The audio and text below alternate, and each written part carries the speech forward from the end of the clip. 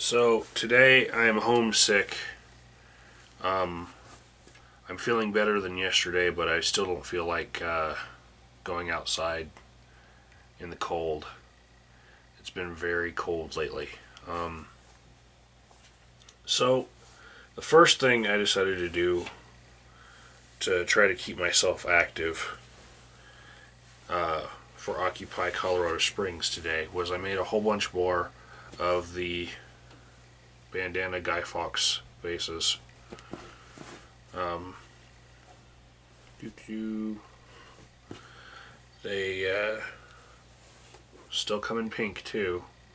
Now, um, after I made all of these, I attempted to try uh, green because um, I thought that would look really cool, like the Green Goblin or something.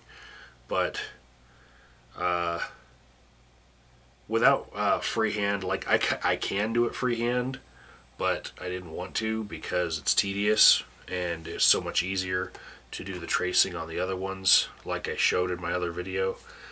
Um, so what I decided to make out of this is all of the medic tent people and security people have been wrapping on their jackets uh, silver duct tape. I don't know where I put my silver duct tape. There it is.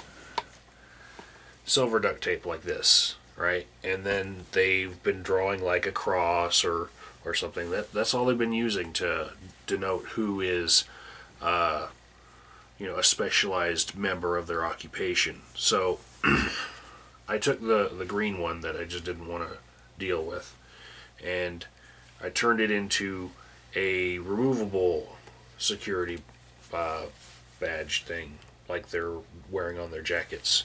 And this in this way they can just like deputize someone on the spot for a little while, you know. Or maybe somebody doesn't want duct tape on their jacket. So I did that. And then um, I did this because you know Thanksgiving is coming up and you can't have Thanksgiving without Christmas signs or so you would figure from Walgreens right now. So I made this. It's my Christmas Guy Fawkes. It says shop local. Try to remind people that uh, you know if it doesn't say made in the country that you want it made from, then you're sending your money to that country. Uh, with your dollar. So, yeah. And for the rest of the day, since I've run out of materials and I'm not going to drive anywhere to get any craft materials, I'm going to be working on the website a little bit more. Um, the website that fundraiser money purchased, and if y'all want to check it out and see how well it's doing, there's the URL right there.